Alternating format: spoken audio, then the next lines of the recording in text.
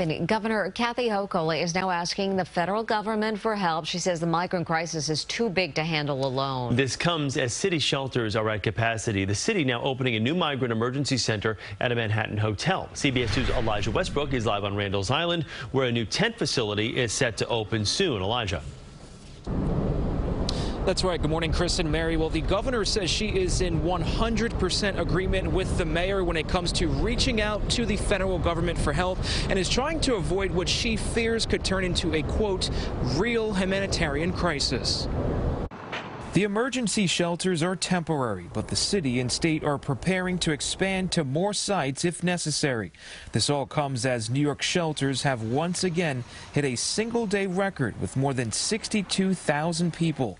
The housing tents on Randall's Island are expected to be complete by the end of this week. And Mayor Adams now plans to move 200 families to the Row Hotel in Midtown Manhattan, adding to the 48 emergency sites citywide. We really are looking for a federal response to this, to take ownership of a crisis. With more than 18,000 migrants now seeking asylum in New York City, Wednesday Governor Hochul said the problem is beyond the state.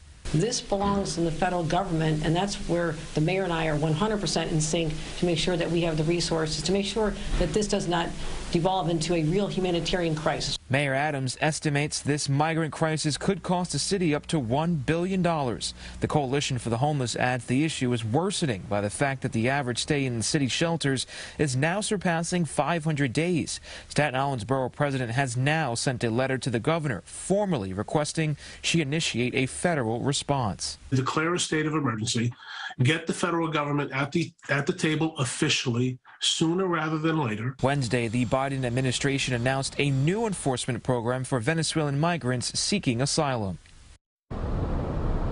And as we just heard in that piece there, the shelter right here on Randall's Island is expected to be completed by this weekend, and we're hearing that it could house as much as 500 migrants at a time. We're live right now on Randall's Island. Elijah Westbrook, CBS 2 News. Elijah, thank you.